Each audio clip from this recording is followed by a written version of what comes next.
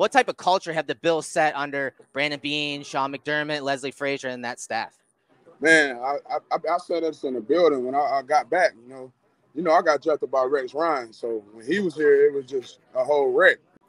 so I seen it from that little part until McDermott first got the job and changed it. I remember day one he said he's gonna change the culture. You know, make it yeah. more playoff caliber. I remember going around the building, it was playoff caliber.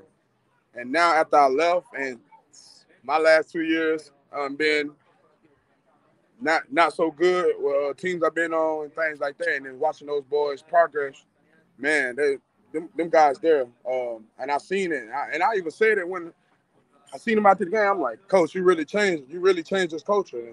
And, mm. and I remember day one, he he really he really changed. He got the right people in there, the right players, the right coaches, from top to bottom. They just got the right people in there.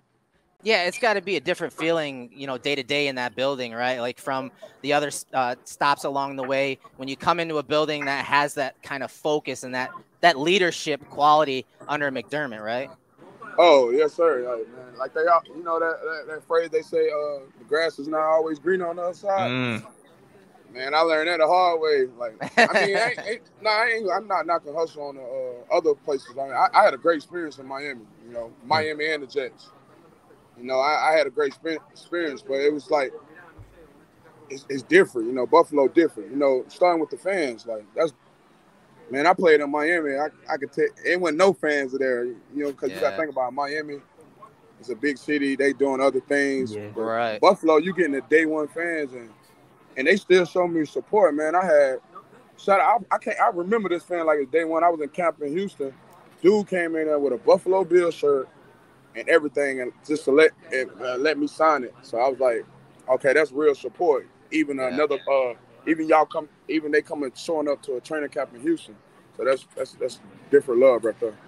Shaq, how important is it for like because we always hear about it from an off the field perspective as like people who cover the game and just casual fans always hear like oh the culture piece and culture piece. Is that something that like players actually like look towards and consider when they're signing with a team? Like, you know, you, are speaking about coming back to Buffalo and just McDermott and the whole vibe here and everything. Is that something that like is a genuine thing that attracts players, or is that something like you guys just say for fluff when you get in front of the media and just talk about nice stuff? Does that culture piece nah, really it, matter? It, it, that culture really matters. Like the, the energy you have in the building is going to determine how your energy is throughout the season. Like how your team go. Like if you around bad energy, it won't go far. As far as you want to make it, that's the goal is to win the Super Bowl. So the culture is a big part. You know, it, like I said, it starts from top and bottom, starting with the play, uh, starting with the GMs and everything to the players. Like if you don't got the culture or the foundation built, and you trying to restart over, it's, it's going to be very tough. It's going to be very tough.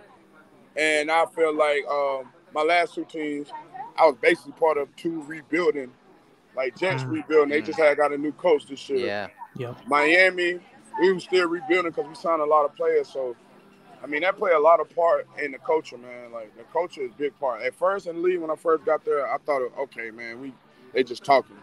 You around anybody can play football, but nah, that's yeah. and and a step of winning football, a step in winning the Super Bowl is that's a big part.